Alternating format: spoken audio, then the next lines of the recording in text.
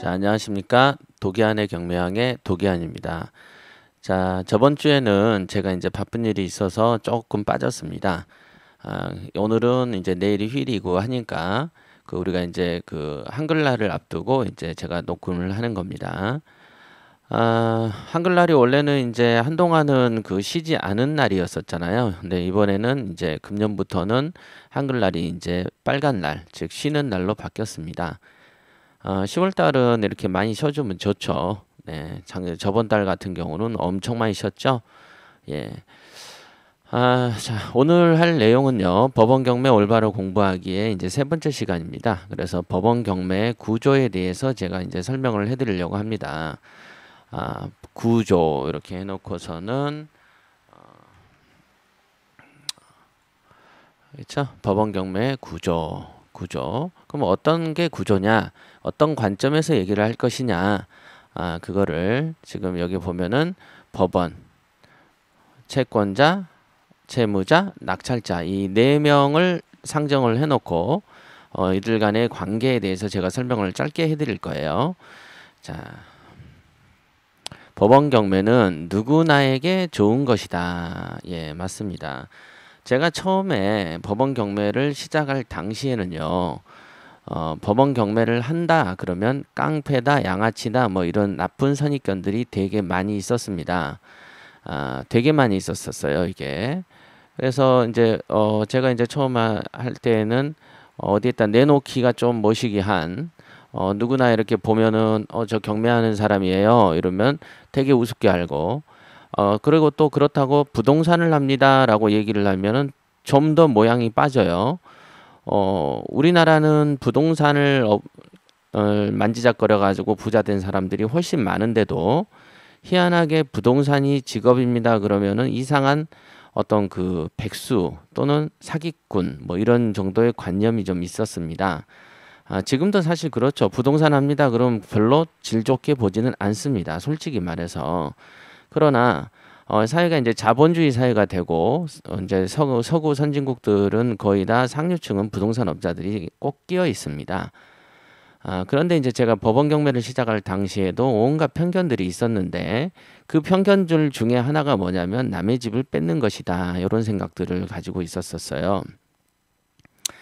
그러면 가만히 저 같은 경우는 그런 생각을 해본 적이 없는데 그러면 왜 어떤 사람들은 저렇게 남의 집을 뺏는다라고 인식을 하는 것일까? 이런 의문점들을 많이 가지게 됐고, 그리고 왜 명도를 할 때, 어, 집을 소유자인 소유자나 채무자는 저렇게, 어, 바르바르 대들면서 이렇게, 어, 힘들게 명도를 저항하다가 더 안 좋은 모습을 보이고 떠나기도 하는 것일까? 뭐 이런 생각도 해봤고, 그 다음에 또 투자를 하는 낙찰자들 입장에서는 자기가 하는 일이 혹시라도 남에게 해코지가 되는 것은 아닐까? 어, 하는 어떤 막연한 죄의식을 가지고 어, 돈을 벌려고 이 시장에 들어오더라고요. 근데 여러분들 생각을 해보시면 죄의식을 갖고 있는데 그 사람이 얼마나 잘하겠습니까? 그렇죠. 그래서 그 원인들이 무엇인가 또 더더군다나 제가 대한공경매사 협회를 열다 보니까 여러분들에게 이런 어떤 편견들, 잘못된 사고 방식들을 고쳐줘야 되는 입장에 서 있다 보니까 어, 이 표, 지금 법원 경매 사자 관계 이렇게 해가지고 제가 표를 최초로 작성을 해서 어, 설명을 하게 되었던 것입니다. 아, 우선은 이렇게 살펴보시면요, 어, 우리가 이제 돈을 빌려주는 사람이 채권자죠. 빌려주는 사람이 채권자.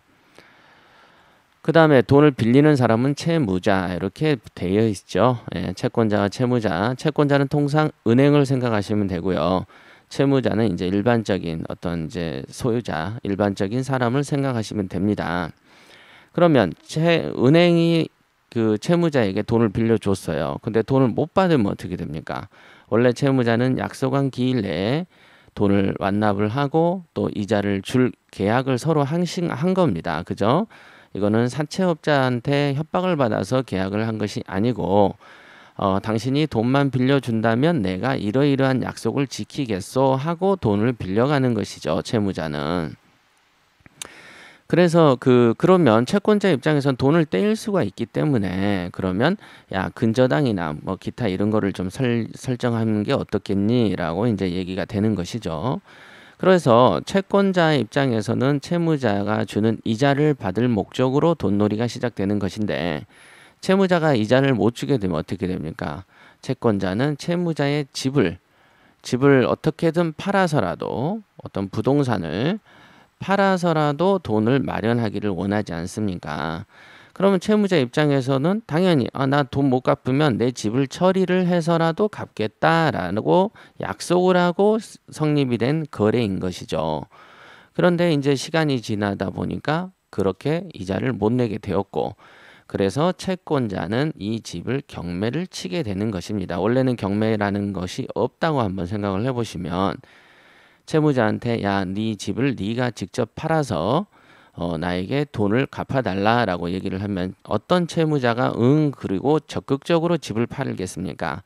그리고 채권자가 압류나 가압류를 하게 되게 되면 이 채무자의 집은 인근 부동산 중개업소에서 거래 대상에서 빠지게 되죠. 어, 그런 물건을 취급 자체를 하지 않습니다. 그러면은 채무자는 빚을 갚을 길이 요원한 것이고 채권자는 돈을 빌려주고 떼일 확률이 높아지는 것이죠. 그런데 앞서 말했지만 채권자는 은행이라고 생각을 해보시면 은행에는 국가의 예산, 국가의 세금이 많이 투자되어 있습니다. 그러니까 채무자가 돈을 안 갚는 게 만성화가 되면 채권자인 은행이 부실해지고 은행이 부실해지면 기업이 타격을 받게 되는 그리고 국가의 세금이 앵꼬가 나는 그런 어떤 안 좋은 순환 방식을 거치게 되는 것입니다.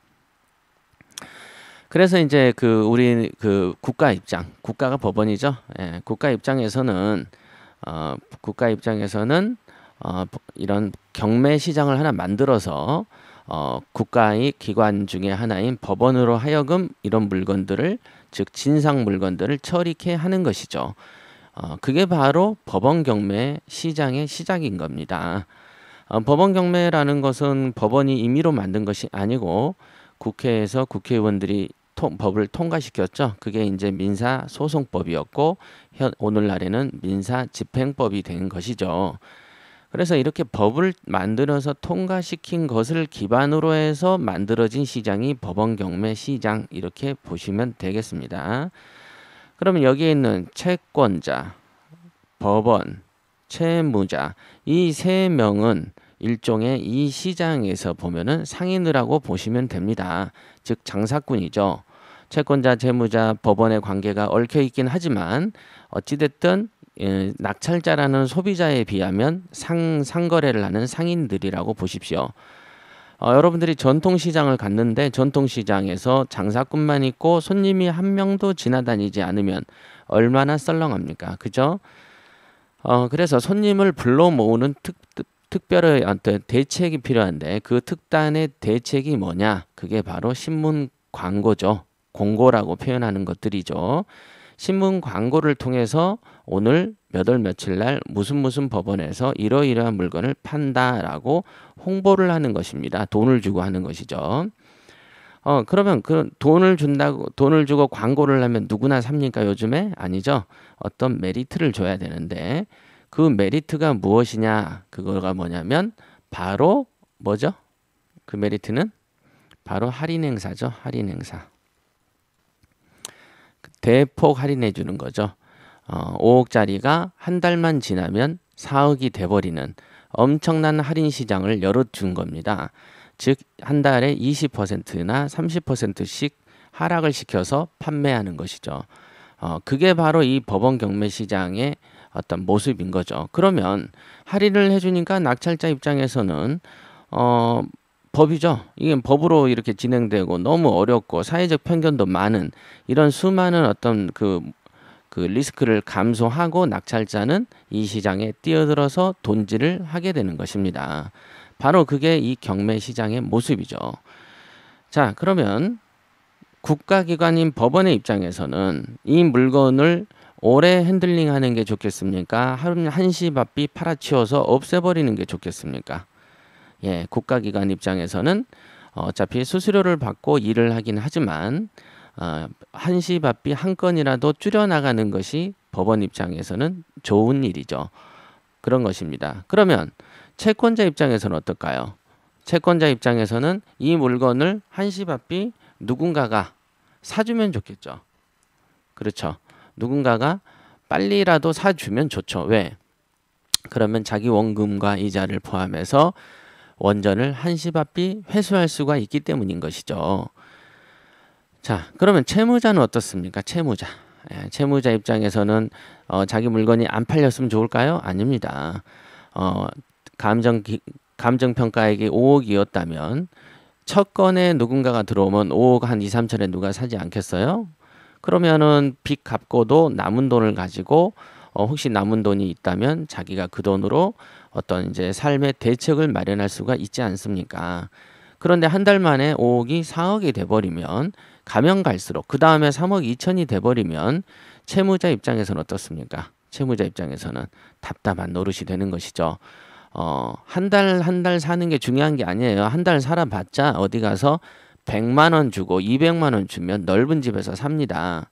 그런데 한 달 만에 수천에서 수억씩 까지 버리는 입장이기 때문에 채무자 입장에서도 한 달이라도 빨리 누가 사주면 좋은 일이죠.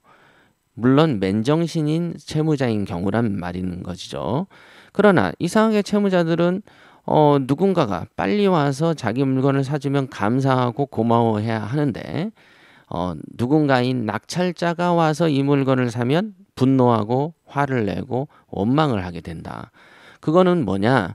이, 이 상황 자체, 즉 정상적인 사고 방식을 갖지 않는 사람이기 때문에 그런 것입니다. 어, 올바른 정신의 채무자라면 당연히 자기 물건을 누군가가 빨리 높은 금액에 사주면 감사해야 하는 것이죠. 그게 맞지 않습니까? 왜? 이익이 되기 때문이죠. 채무자 입장에서는 자기에게 손해볼 일이 없는 겁니다. 자, 그런 입장이고. 그럼 낙찰자만 좀 반대죠. 낙찰자는 이 집, 이 경매를 통해서 어, 시대 차익을 범으로써 대박을 칠 수도 있는 상황에 있는 입장이죠. 그러니까 낙찰자는 당연히 경매를 사랑하게 될 것입니다. 다만 어, 낙찰자는 법원, 채권자, 채무자 입장하고는 반대로 한두 번 더 떨어지기를 원하는 사람인 것이고 그렇다고 해서 법원, 채권자, 채무자가 낙찰자를 싫어할 것이냐? 그러면 안 되죠. 왜? 이 사람이 안아버리면 또는 경쟁자가 적어져 버리면 그만큼 더 떨어지게 되기 때문에 법원 채권자 채무자는 낙찰자를 굉장히 좋아해야 되는 입장인 것입니다. 그러면 1, 2, 3, 4, 2, 4번까지 낙찰자까지 포함을 해서 보면 누구도 법원 경매에서 손해보는 사람은 없다 이렇게 보시면 됩니다.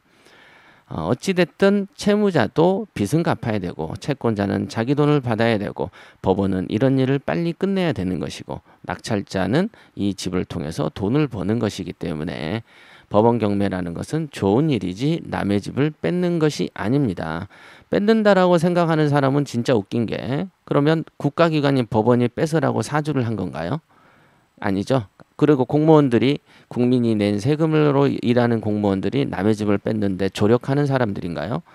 스스로의 논리적 모순에 빠져 있는 것이죠. 그래서 이제 이런 설명들을 차분히 들어보고 얘기를 들어보면 아, 이 경매라는 게 굉장히 합리적인 거구나. 그러니까 전 세계에서 다 있는 거구나. 맞습니다. 은행이 있고 채권 채무가 존재하는 곳은 법원 경매가 다 존재하게 되어 있습니다. 자, 오늘은 여기까지 하겠고요. 내일 한글날 푹 쉬시고 어, 그 다음에 이제 제가 다음 팟캐스트를 올려드리도록 하겠습니다. 그리고 이제 조만간 우리 회사에서 이제 또 다른 직원이 팟캐스트를 하나 이렇게 올릴 수도 있을 것 같습니다. 어, 지금은 용기를 많이 주고 있는 상태인 거고요. 한번 나중에 한번 들어보시면 도움이 되실 겁니다. 자, 오늘은 여기까지 하겠습니다.